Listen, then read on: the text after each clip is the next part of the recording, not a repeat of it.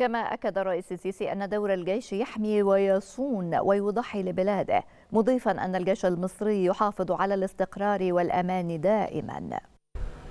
أنتوا دوركم كبير قوي قوي ولو شفتوا التضحيات اللي اتقدمت خلال مش بس السبع ثمان سنين اللي فاتت ما إحنا كنا النهارده بنحتفل أو بن بنقول أسماء قادة عظام كانوا موجودين وفي شهداء لينا ومصابين كانوا في أكتوبر. إحنا بنحتفل كل سنة بالذكرى والانتصار ده.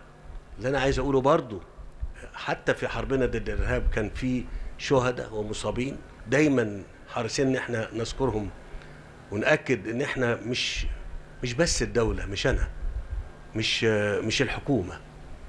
لا كل إنسان مصري يفتكر كويس قوي كل إنسان مصري يفتكر كويس قوي إن في أسرة قدمت ابنها الابن ده بقى شهيد. بعد ما ربته شاب جميل وقد الدنيا كده وبعدين قدمته لبلدنا هنا وقدم روحه لها عشان إحنا نعيش بالشكل اللي إحنا فيه.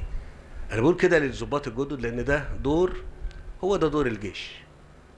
دور الجيش إن هو يحمي ويصون ويضحي عشان تبقى البلد دايما ثابتة مستقرة آمنة سالمة إن شاء الله.